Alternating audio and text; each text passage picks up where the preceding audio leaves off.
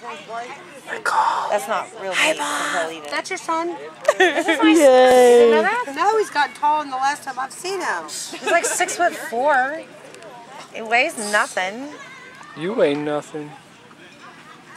Look at his long hair. I'm jealous. Looks like a rock star. I know you're jealous. Oh, I have better hair than everybody. His hair is his Guys pride. always do have better hair because they always trim it. Yeah.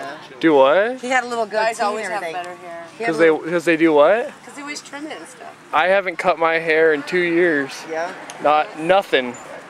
No scissors have been near my He hair. won't allow it. And you know what? I, had, I was doing one of those things, those police things, where you take a little bit of the. oh yeah, Well, that. it says, it says to cut, you know, like hair really close to the root, as close as you, you can get it.